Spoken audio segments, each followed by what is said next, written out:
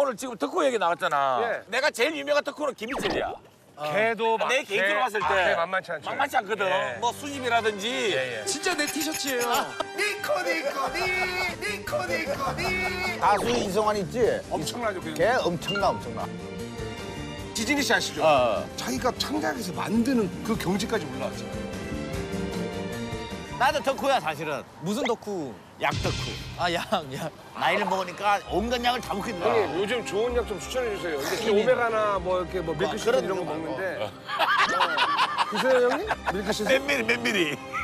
그거 한 7, 800개를 두개 먹는데 아, 드시는구나 형님도 초록색, 초록색. 어. 초록색, 야, 초록색. 땡겨, 야, 많이. 이 약을 먹으면 여기가 나빠지니까 이 약을 방어하기 위해서 이 약을 또 먹어요. 조율이 좋아요. 또이 약을 조율을 먹다 보면 여기 부작용이 생겨요. 그걸 맞게는 먹다 보면 이 약 저 약 먹다 보니까 약 덕후가 돼가지고. 아니, 제가 머리가 난 요즘. 조금 빠지길래 탈모약을 먹고 맥주 효모 먹고 아르기닌을 먹는데 아르기닌이 또 탈모에 안 좋고 탈모에는 효모가 좋고 이렇게 계속 돌아 아니. 그거는 남대문 시장 가가지고 수염 나는 그 크림 있지? 아. 아, 이것도 발라. 발라. 발라버려 그냥 우리 몇 번 버스 타니 빈대야? 100번, 100번입니다, 100번. 아 너무 버스 웃긴다. 너무 오랜만에 와, 야 교통카드 네 안녕하십니까 안녕하십니까 선생님. 용산을 관통하는 버스를 타고 용산의 중심부로 들어가는 길. 여기가 우리 집, 우리 집. 지금 현재 지금 현재 우리 엄마 아빠 저기 있어요, 지금. 그래? 아, 살고 있어? 네, 엄마 아빠 저기 계세요. 여기서 산지 얼마나 됐는데?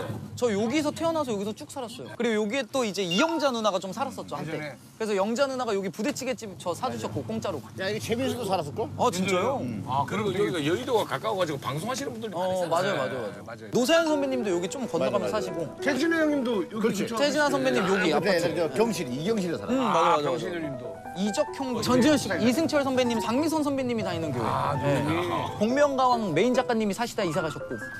김성원 작가님이 제가 다 알아요, 다 알아. 다 알아. 다 알아, 다 알아. 알고 있네. 제가 동네 여기 토박이어가지고. 연예인들이 여기 많이 산 게 여기서 강남 넘어가기 좋고 이태원, 이태원, 그다음에 좀 홍대도. 홍대도 여의도. 여의도.